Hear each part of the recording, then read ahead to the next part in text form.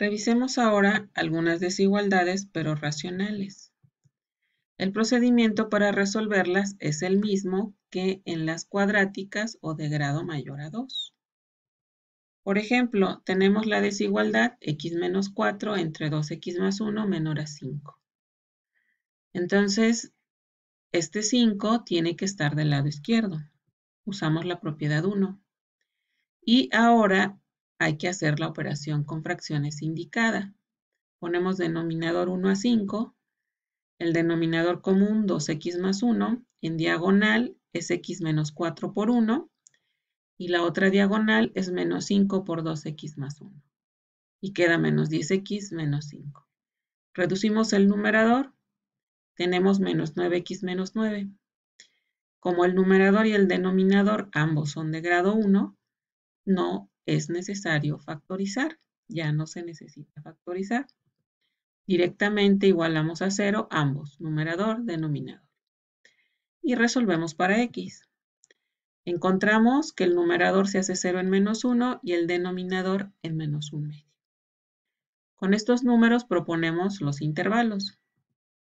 Iniciamos de menos infinito al menor de estos dos, que es menos 1, luego de menos 1 a menos 1 medio y finalmente de menos 1 medio a infinito.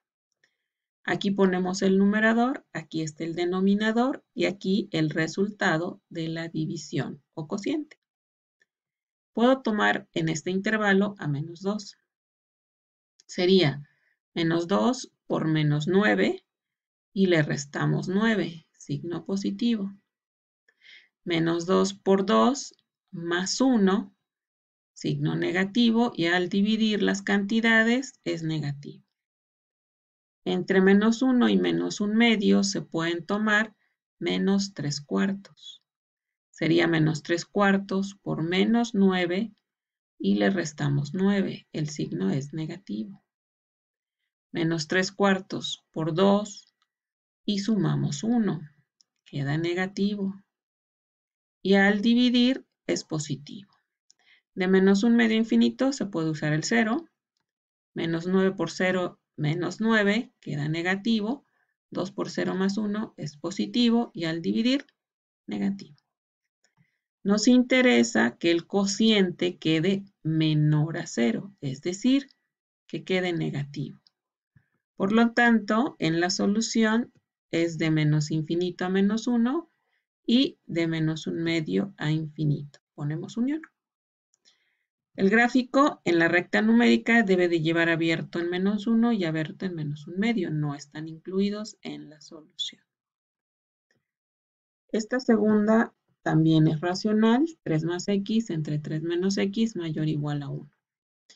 Primero usamos la propiedad 1. En ambos lados agregamos el menos 1. Y ahora hay que resolver estas fracciones. Ponemos aquí denominador 1 y el denominador común es 3 menos x. En diagonal 3 más x por 1, queda 3 más x. Y la otra diagonal es menos 1 por 3 menos x, que es menos 3 más x. Reducimos numerador y tenemos dos expresiones de grado 1. Ya no se necesita factorizar. Así que igualamos a 0 el numerador y también el denominador. Resolvemos para x. En el primero es x igual a 0 y en el segundo, que es el denominador, x igual a 3. Usamos esos números para la tabla y poner nuestros intervalos.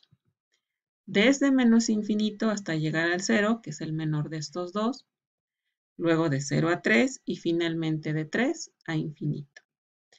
El símbolo dice mayor o igual. Por eso vamos a cerrar en cero. Ese es un cero del numerador, no hay problema. Pero donde no podemos cerrar es en el 3, porque ese es un cero del denominador y no se vale dividir entre cero. Por eso, aunque diga mayor o igual, debe ir abierto. De número de prueba aquí usamos menos 1. 2 por menos 1 es negativo, 3 menos menos 1 es positivo y al dividir negativo.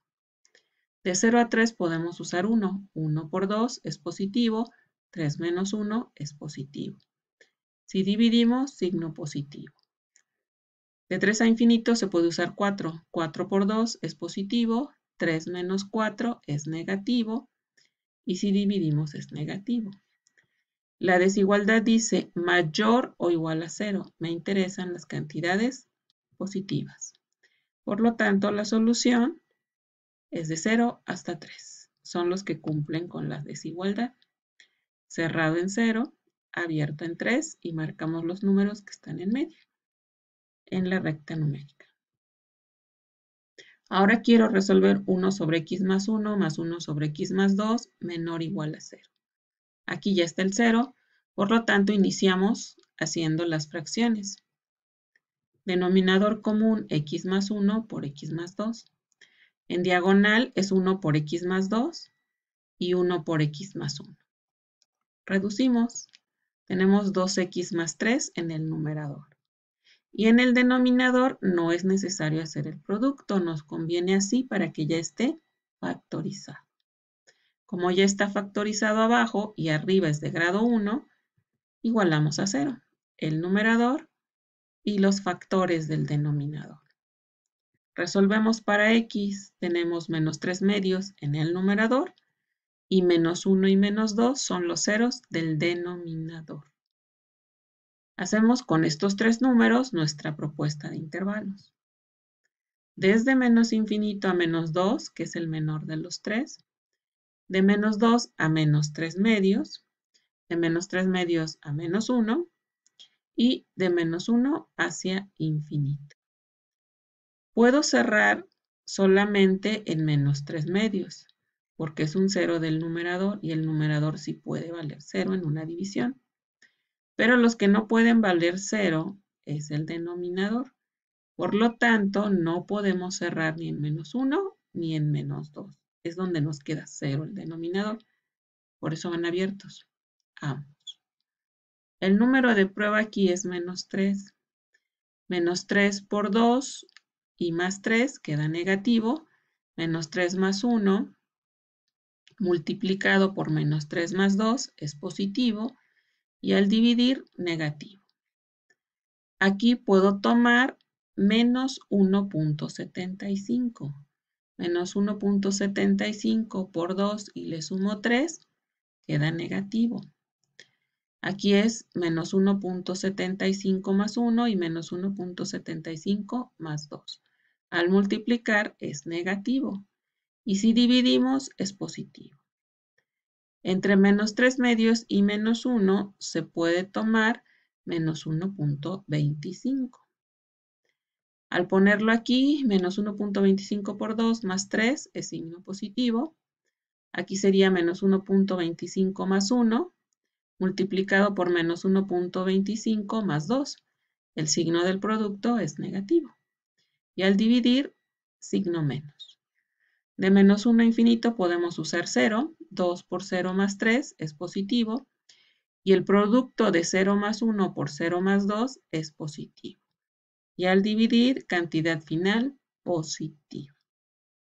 Nos interesa que el cociente quede menor o igual a 0. Y eso lo cumplen los números en el intervalo de menos infinito a menos 2. Y también lo cumplen de menos 3 medios a menos 1. Esta es la solución con una unión de intervalos. En el gráfico, menos 2 abierto, menos 3 medio cerrado y menos 1 abierto. Y ya estamos marcando la solución en la recta numérica. Quiero ahora resolver 3 sobre x menos 1 menos 4 sobre x mayor o igual a 1. Primero, pasamos ese término hacia el lado izquierdo con la propiedad 1. Y ahora sí vamos a resolver las fracciones para tener el denominador común.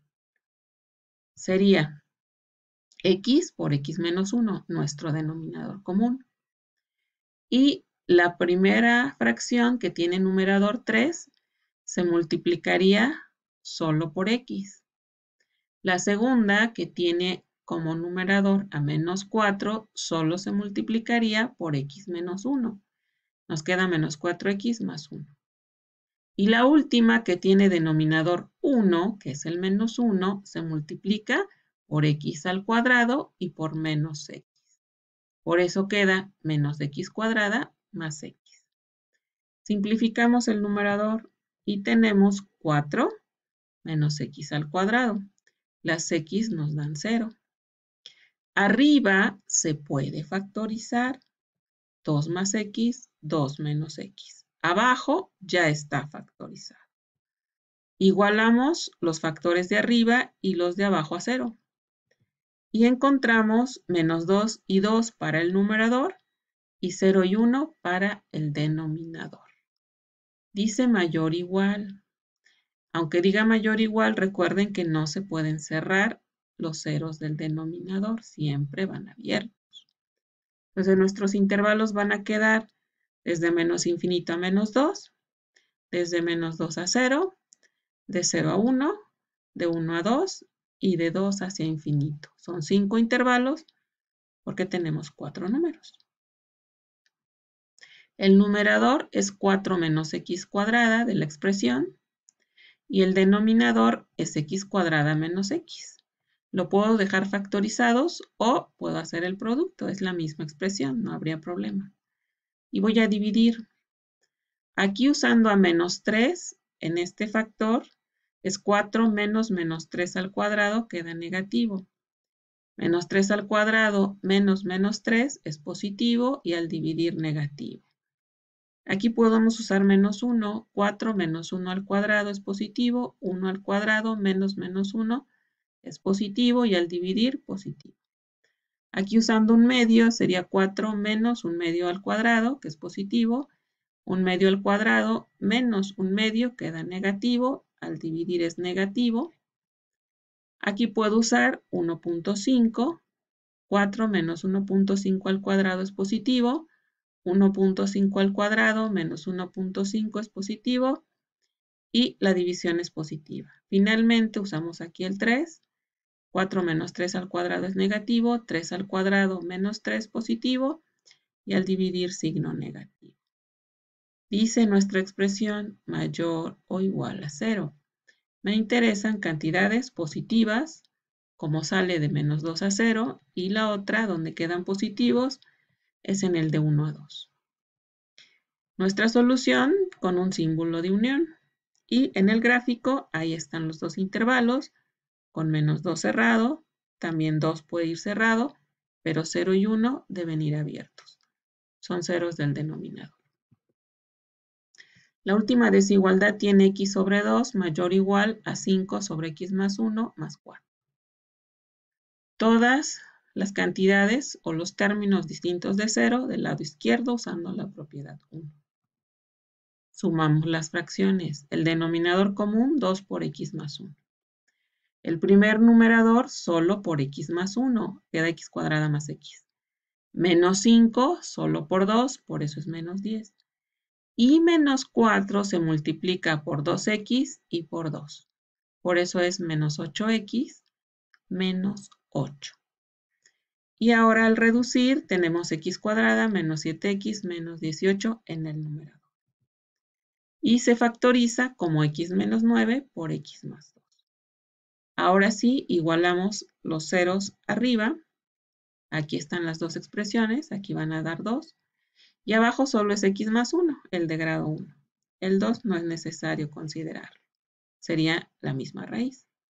Entonces me queda 9 menos 2 y menos 1 al resolver para x. Estos dos son del numerador, este es del denominador.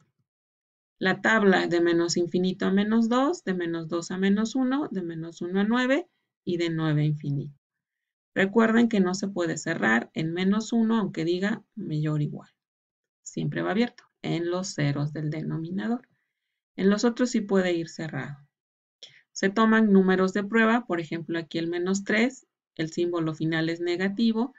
Aquí puedo tomar menos 1.5, el símbolo final es positivo. Aquí se puede usar el 0 y el símbolo final queda negativo. Y aquí puedo usar 10, donde el símbolo final es positivo.